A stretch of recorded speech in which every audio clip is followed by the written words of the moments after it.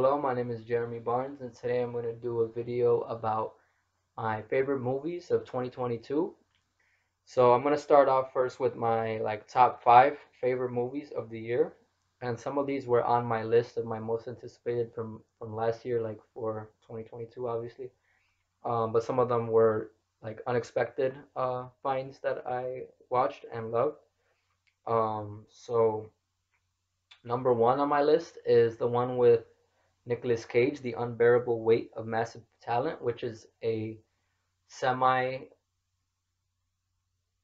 well, it's not really biographical, but it's it's Nicolas Cage playing himself. So it's like a fictional version of his life. Um, and then something that is happening kind of in his present. But uh, it was a hilarious movie that I saw pretty early this year. Um, I think I saw it before it was officially released um, in theaters at like a screening. Um, I hadn't had the chance to watch it again yet, but that movie was like a complete surprise to me, like how how good it was, how much I enjoyed it. Um, so I, I would rate that one a 10 out of 10 um, for what it was. Uh, so that one is, is my number one pick. Number two was another uh, movie that was kind of a like not on my radar. I think this one I did hear about it before I watched it, um, but I didn't really know exactly what it would be. Um, but it's The Northman, which was directed by the same director who did uh, The Lighthouse, and I think something else that I've seen as well, but that's the one that's coming to mind right now.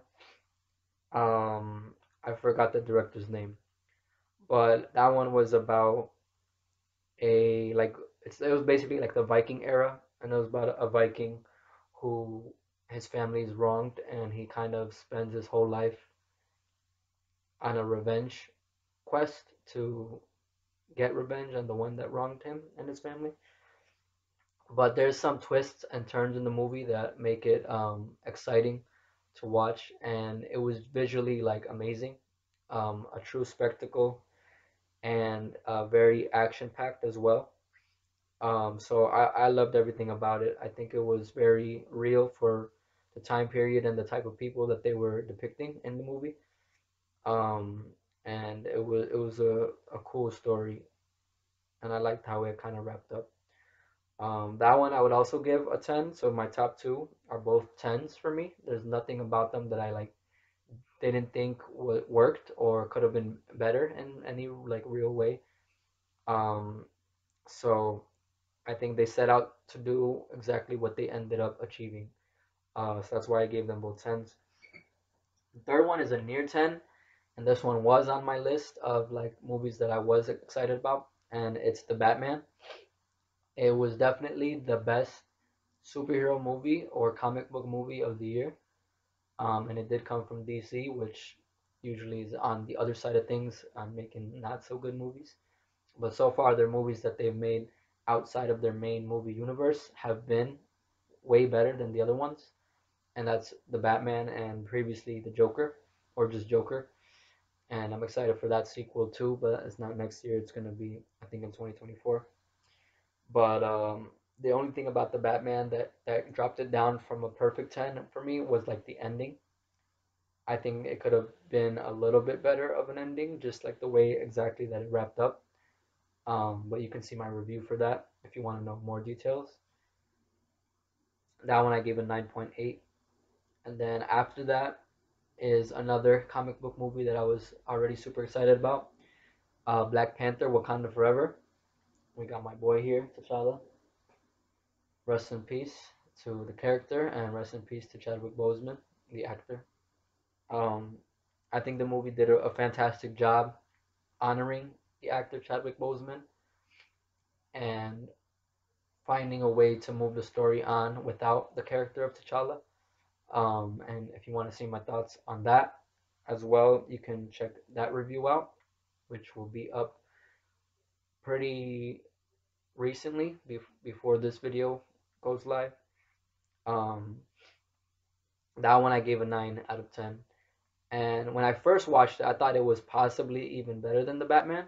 But after thinking about it, I think there's a bit more problems with it than the Batman had. So that's why the Batman is still above it. And then my number five on my top five is uh, Glass Onion, a Knives Out mystery, which came out briefly in theaters during the Thanksgiving holiday season. Um, but then now it, it came out on Netflix uh, around Christmas time, and this is when I watched it. I wanted to have seen it in theaters, but I didn't get a chance to. Um, so I watched it now on Netflix, but I was fine with that. Um, it was still a, a, a great experience watching it like that. It might have been better in the in the theater, like most movies are, but I don't think it was a necessary theater experience. Um, but it was just as like engaging as the first one, and actually I think more funny. Uh, for me, um, I do think I prefer the first one still slightly, um, just because I think I liked the varying characters in the first one compared to this one, where everybody was kind of in the same boat, both literally and figuratively, in this movie. But uh, I think the way that, that it was structured was kind of the, the surprising thing about it, or the cool or unique thing about it. Um, but the, the the like actual killer was not really a surprise. Um, so it was it was basically a fun movie. That's my best way to describe it. And that was also a nine. All, all of my like top movies were, were nines. Um, I have one more that dropped down from my top five because of Knives Out two, and that was uh, Top Gun Maverick. And before seeing that movie, I had never seen the original Top Gun, but I did watch it before seeing Top Gun Maverick. Um, and this one, I actually do prefer the sequel over the original, but I did like both. Um, this one was more action packed, and and just like the way that it was shot was like super exhilarating, and um, Tom Cruise, as always, is just like an absolute joy to watch. Um, he's got a, a real infectious smile, and the new characters were also really cool as well. Like um, think his name is Scott Glenn, the actor, and he's he's he's also in that movie with um, Jonathan Majors that just came out, the war movie. Uh, I want to check that one out. I didn't get a chance to, but uh, that one also looks pretty good.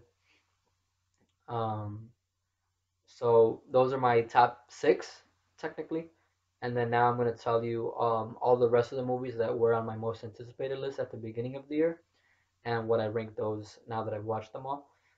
Uh, so the next one would be Lightyear, the Buzz Lightyear movie about the real Buzz Lightyear that the toy was based on in the actual Pixar universe, and that one was an 8.5 for me. Um, I did enjoy it quite a bit but um, not as much as I was hoping to, and that's kind of a, a common thread through all of all of these movies that I'm gonna mention from here on out on this list. Uh, the next one is the most recent one, the last movie that I watched in 2022, and it's Avatar: The Way of Water. While I did enjoy it, I did not enjoy it as much as I was hoping to, and as much as I did the first movie, which is actually one of my favorite movies like ever. Um, I will say, obviously, the technology is better in this movie compared to the first one, but somehow I actually prefer the visuals of the first movie over this one. I think there's just more colors in it. Um, I think one major difference is that the first movie you see mostly kind of things at night, um, but this one is kind of more focused in the daytime and I guess I just like the nighttime aesthetic of Pandora more than the daytime. Um, and I also prefer the jungle environment over the like aquatic environment. Um, but I'm kind of biased. Like I've always been a Tarzan fan since I was a kid. Um, so that kind of probably plays into my opinions about that. Um, but also this movie was a little bit repetitive compared to the first one, um, which did kind of drop down on some of the points for me with this one. Um, but overall, I'm still very invested in the in the world of Avatar and Pandora, so I am excited to see what they do. with the next one and maybe few. But for me personally, I don't think it needs to be five movies. I think it, I think they could just end it with a trilogy. But maybe my mind will be changed after the next one. Uh, we'll see. But I will not be doing a review for this movie as I originally was planning because I just don't think there's enough for me to say about it. The next one on my list is um, an 8, which is the same as Avatar. I don't know if I said that. Uh, and it's Nope, Jordan Peele's movie, which also I was kind of expecting more from. But this one, I even though I, I put it lower than Avatar, I actually was more kind of happy with what we got. But I don't know. I think Avatar, I, I, I put it higher just because I think because of my invest, investment into the world. Um, but I think Nope was a kind of more solid movie as its own thing. Um, but it is probably my least favorite out of Jordan Peele's movies. My number one would be Us, and then two Get Out, and then Nope. But um, I do like kind of the twist that they did with the alien in the movie. Um, and I'm excited to see it again. Like I, I, I bought his whole collection of movies, Jordan Peele, but I haven't seen Nope yet again since I've gotten it. Uh, so I am excited to check it out again and maybe discover some new things that I didn't notice the first time. Um, but the next one on my list is also a eight. Pretty much like all of these ones after my top six are, are eights except for Lightyear, which was an 8.5, and the last one on my list, which I'll get to. Um, but the next one is Doctor Strange and the Multiverse of Madness. That one I was expecting a lot from it, and the trailers like really were hyping it up and were so good that when we actually saw the movie, it basically just gave us everything that we already saw in the trailers, so it didn't leave us with anything new, and I think that hugely uh, impacted my experience of it. Um, so I was super disappointed with, with what we actually got.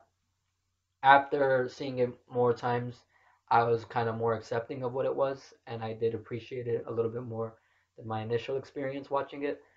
But um, overall, I still don't think it was as good as it could have been. Um, and I hope they do more with Scarlet Witch in the future. And um, and the next Doctor Strange movie, I hope is focused on Doctor Strange and is also better than this movie was. Even though I did prefer it over the original Doctor Strange. Um, but I think it was mostly just because I'm a big fan of Wanda, Scarlet Witch. So hopefully they can make another Doctor Strange movie focused on him that is like better than both of the previous ones. But next on my list is Scream the Scream like kind of reboot slash sequel, Scream Five that they released at the beginning of the year, which feels feels like so long ago. Like it doesn't even feel like it happened this year for me to me, but it was, and I did like it. Same thing. It's not one of my favorite Scream movies, but I liked it for what it was, and I liked the new cast uh, very much, especially like one of my new favorite um, kind of up and coming actresses, who was even bigger now that that show Wednesday came out uh, Jenna Ortega. Um, I think that movie actually might have been the first thing I saw with her, Scream. But I've seen her in a lot of things this year. She was in this other movie too that was uh, like about a school shooting and the aftermath of it, and that one was good. And then I also saw her in uh, X, which was like a horror movie, slasher. Um, and I have not watched Wednesday yet, but I also do plan on checking that out and uh, I think she's gonna be in something else too coming up. Oh, I, I guess just the next Scream movie. Um, but uh, yeah, she's a bit of a horror icon now. that she's been in many horror films. Uh, so that one was really good, um, or pretty good. And then uh, the next one is Black Adam the other DC movie that came out this year. There was supposed to be more, but because of DC being dragged down by Warner Bros. as a studio. Um, had many delays. Black Adam, I think, was decent for what it was, but it was just decent, and that's kind of what I was expecting to get from it anyway. Um, I was excited about the post-credit scene, which I will spoil here. Superman showed up for the first time since I believe 2017, uh, like officially. Um, even though he was in Zack Snyder's Justice League, which came out, I think that was 2020, right? Um, and that was a really cool thing to see. But now that just the rug got pulled out from under us, and that shit is not gonna happen. So it was pointless, and this is why I hate DC and Warner Bros. But hopefully now that it's under the control of like one person or two people in the case of James Gunn and Peter Safran, hopefully they're able to kind of keep things smooth sailing after they do their official reboot, which will be I think after next year. Uh, it might kind of start next year, but I don't think the original like universe will be kind of over with until after next year because they still have a few movies coming out that will probably be before the reset that I'm expecting to see. Um, and I'll get into those movies um, in my most anticipated for next year. Um, but my, the last on my list uh, with a 7.5 is Thor Love and Thunder, which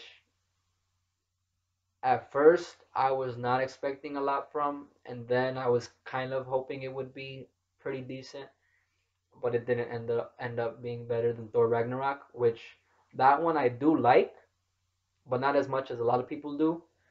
Um, so this one was just even worse for me.